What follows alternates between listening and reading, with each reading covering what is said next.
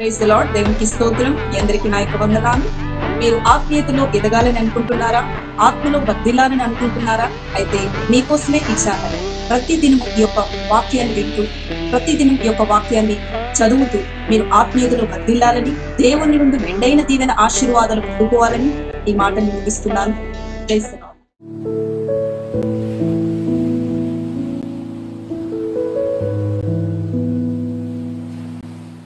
ద్వితీయోపదేశ కాండము ఇరవై ఒకటో అధ్యాయము.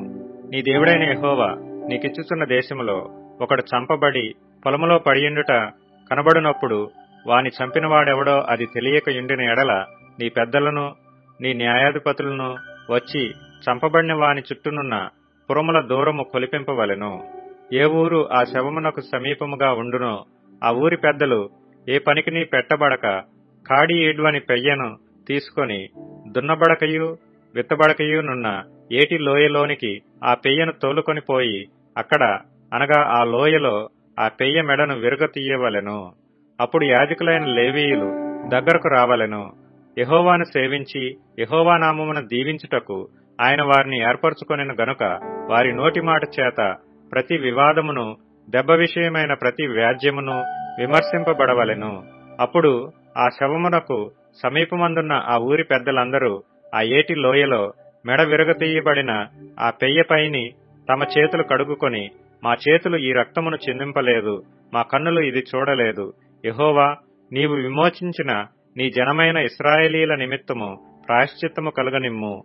నీ జనమైన ఇస్రాయేలీల మీద నిర్దోష యొక్క ప్రాణము తీసిన దోషమును మోపవద్దని చెప్పవలెను.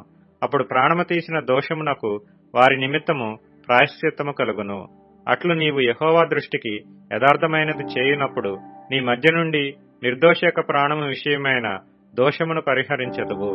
నీవు నీ శత్రువులతో యుద్ధము చేయబోవునప్పుడు నీ దేవుడైన యహోవా నీ చేతికి వారిని అప్పగించిన తరువాత వారిని చెరపట్టి ఆ చెరపట్టబడిన వారిలో రూపవతి అయిన దానిని చూచి ఆమెను మోహించి ఆమెను పెండ్లి చేసుకున్న మనస్సయి నీ ఇంట ఆమెను చేర్చుకున్న తరువాత ఆమె తల క్షౌరము చేయించుకొని గోళ్ళను తీయించుకొని తన చెరబట్టలు తీసివేసి నీ ఇంట నివసించి ఒక నెల దినములు తన తండ్రులను గూర్చి ప్రలాపన చేయుటకు నీవు ఆమెకు సెలవీయవలెను తరువాత నీవు ఆమె యొద్దకు పోయి ఆమెను పెళ్ళి చేసుకొనవచ్చును. ఆమె నీకు భార్య ఎగును. నీవు ఆమె వలన సంతుష్టి నొందని ఎడల ఆమె మనసు వచ్చిన చోటికి ఆమెను సాగనంపవలనే గాని ఆమెను ఎంతమాత్రమును వెండికి అమ్మకూడదు. నీవు ఆమెను అవమానపరిచితివి గనుక ఆమెను దాసివలే చూడకూడదు.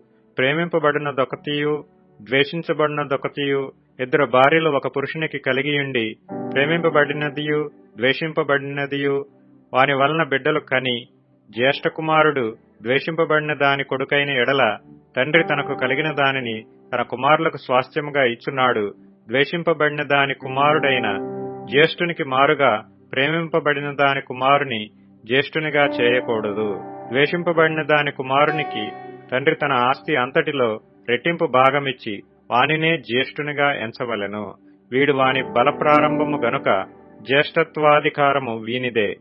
ఒకని కుమారుడు మొండివాడై తిరగబడి తండ్రి మాట గాని తల్లి మాట గాని వినకయుండి వారు అతన్ని శిక్షించిన తరువాతేను అతడు వారికి విధేయుడు కాకపోయిన ఎడల అతని తల్లిదండ్రులు అతని పట్టుకొని ఊరి గబిని యొద్ద కూర్చుండు పెద్దల యొద్దకు అతని తీసుకుని వచ్చి మా కుమారుడైన వీడు మొండివాడై తిరగబడి ఉన్నాడు. మా మాట వినక తిండిబోతును త్రాగుబోతును ఆయనని ఊరి పెద్దలతో చెప్పవలెను. అప్పుడు ఊరి ప్రజలందరూ రాళ్ళతో అతని చావగొట్టవలెను. అట్లు ఆ చెడుతనమును నీ మధ్య నుండి పరిహరించుదువు. అప్పుడు ఇస్రాయేలీలందరూ విని భయపడుదురు. మరణశిక్షకు తగిన పాపము ఒకడు చేయగా అతని చంపి మ్రాను మీద వేలాడతీసిన ఎడల అతని శవము రాత్రివేళ ఆ మ్రాను మీద నిలవకూడదు. వేలాడదీయబడినవాడు దేవునికి శాపగ్రస్తుడు గనుక నీ దేవుడైన యహోవా స్వాస్థ్యముగా నీకిచ్చుచున్న దేశమును నీవు అపవిత్రపరచుకుంటున్నట్లు అగత్యముగా ఆ దినమున వాణిని పాతిపెట్టవలెను.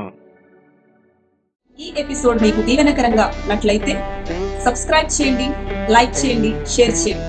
అదేవిధంగా డిస్క్రిప్షన్లో ఉన్న లింక్ని క్లిక్ చేసి మీ యొక్క ప్రార్థన అవసరతను తెలియజేయవలసిందిగా కోరుతున్నాను. Thank you.